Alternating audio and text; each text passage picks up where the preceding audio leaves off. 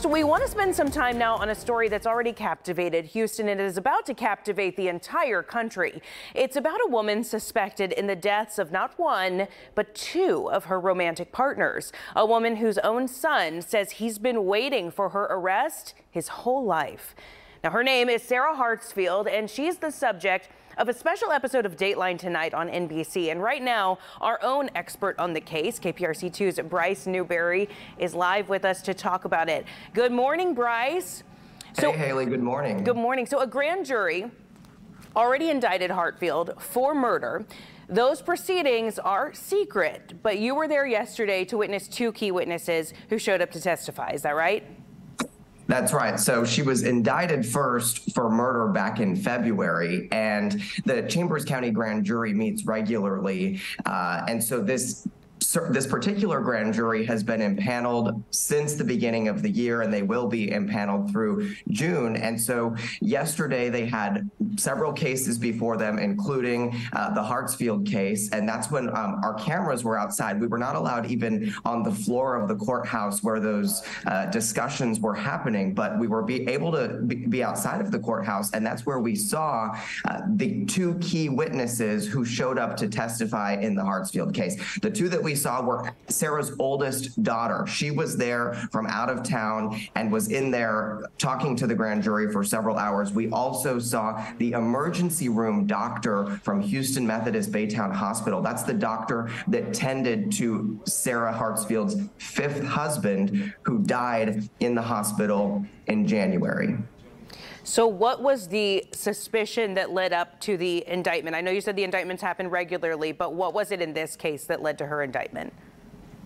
Well, so Joseph Hartsfield was a diabetic, and and on January seventh, he was rushed to the hospital. He uh, had been he was unresponsive, and he went to the hospital. And once he was at the hospital, pretty much everyone in the emergency room, according to court documents, suspected that there was foul play. They the treatments that they were trying to do to him just really uh, didn't seem to be working. And so he died on January 15th. He was there for about eight days and and then he passed away. So at that time, uh, with that suspicion of foul play, the Chambers County Sheriff's Office, they did start to investigate all of this. And what happened before he was rushed to the hospital according to court documents, is that his sugar tanked dangerously low uh, into the 40s. And when they began their investigation, uh, they found up to 10 insulin pens on his side of the bed. Now, the documents in this case allege that Sarah Hartsfield waited an hour to call 911 after finding him unresponsive, and then also oh. that she ignored a phone app. And Haley, I know you're our, you're our health reporter. He actually had one of those um, Dexcoms. Uh, uh, one of the a things that monitor. monitors uh, yeah. his sugar. And so there was an app that they actually had,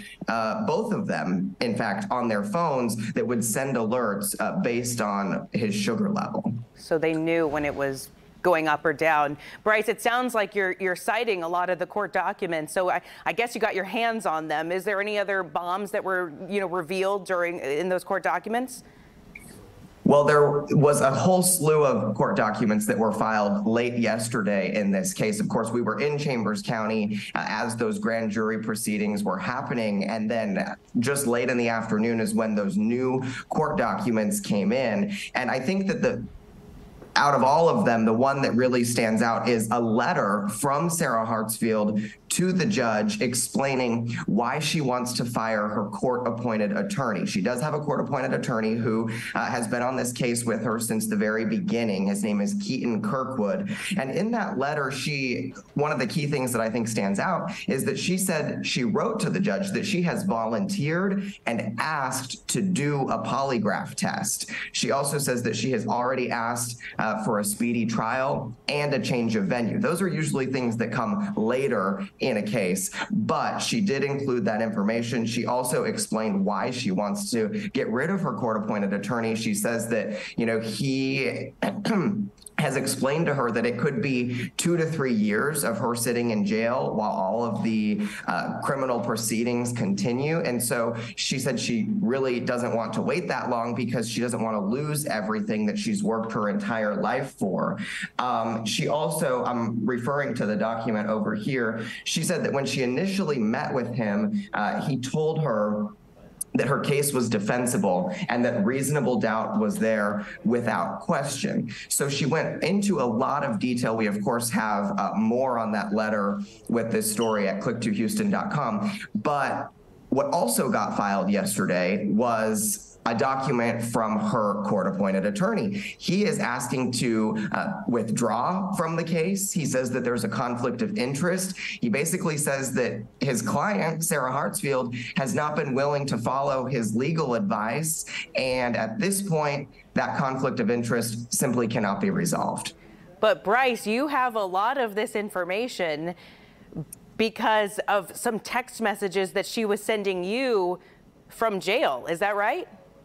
That is right, Haley. So uh, in Chambers County, they've got this kiosk uh, that they installed. It was kind of a pandemic inspired system, and it makes it so that inmates there are able to, you know, speak with people outside of jail regularly. Of course, during the pandemic, visitors at the jails were not allowed. So that it, it's an app and it's on our phone. And one question that we've got is like, oh, are taxpayers paying for these messages? Actually, Fair. no. Okay. We pay per message uh, that gets sent and received. All of that is charged to channel two but we are able to communicate and that's how these messages uh, were coming in and so she had told us last week that she had filed the paperwork to fire her court appointed attorney. And I want to show you some of the other messages that she sent us. I know we have some uh, full screens with some of the things that she has said. Oh, um, yeah. but one of the up. first things that she said was with the ME's findings, the burden of proof for the DA uh, just shifted significantly. They'd almost be crazy to proceed.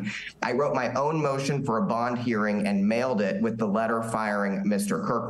And I want to just explain that a little bit. She's talking about uh, the ME's findings here. So initially, when the grand jury indicted her back in February, the manner and means of this murder were unknown, according to the document. It took a little while. It wasn't until uh, March or so that the medical examiner's office got a panel of doctors together. They did a peer review of his autopsy, and that is when they determined that his cause of death was complications of toxic toxic effects of insulin. However, they did not determine the manner of death. So the manner of death could be something like homicide, uh, suicide, accidental, natural causes. So the manner was undetermined. But but the autopsy, what they're really looking at is is simply the body. So they're not, you know, looking at any of the other factors when they're determining the manner of death, unless it's obvious, something like, you know, gunshot wounds, and they could say it's a homicide. But in this case, they they left it undetermined. So in that message, she's saying, you know, that the fi- the burden of proof for the DA sif- shifted significantly.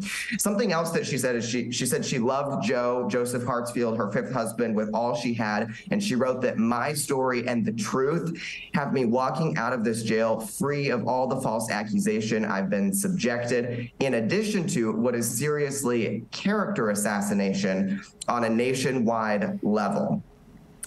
So after our story aired, uh, with these messages from her, which she watched from her jail cell. She sent a series of overnight messages, really all night long, to me, uh, and and continued just railing against the reporting that we've done on the case, and also explaining her side of things, which we did an update on. Um, but basically, she said if she's guilty of anything, it's picking horrible husbands. So it's really a lot, Haley. We don't, you know, hear a lot from from inmates, but in this case, so early in the case, we have heard so much from Mrs. Hartsfield.